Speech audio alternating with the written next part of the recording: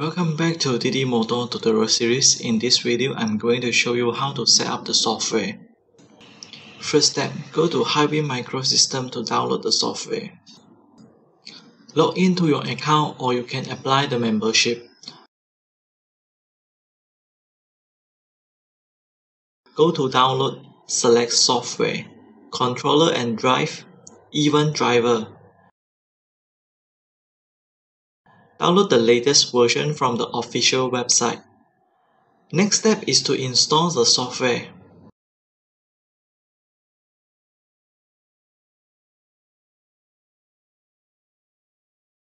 Once installation is completed, you can update the USB driver from the directory folder.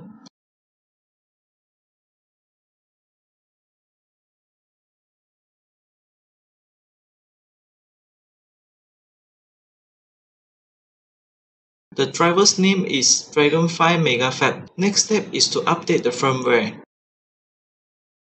Open up the software and select the correct type of the driver.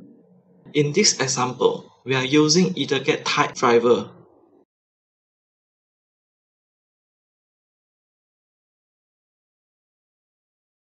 The firmware is located under the toolbar. Select the latest firmware and download it.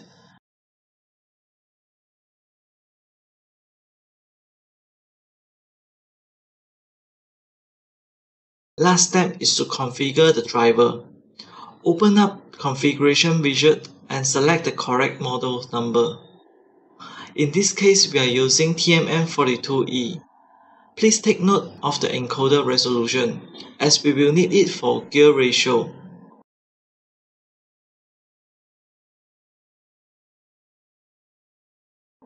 Define control unit equals to encoder count. Send it to driver, save and power cycle.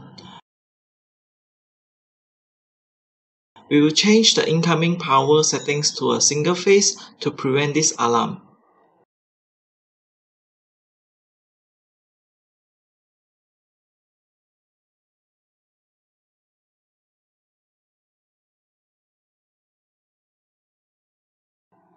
Save it and power cycle.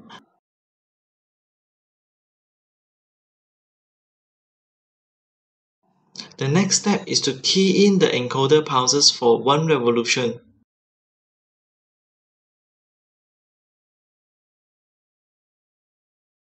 We will also need to change the control ratio. After the changes, we can rotate the motor with 360,000 pulses, save it and power cycle. Lastly, perform phase initialize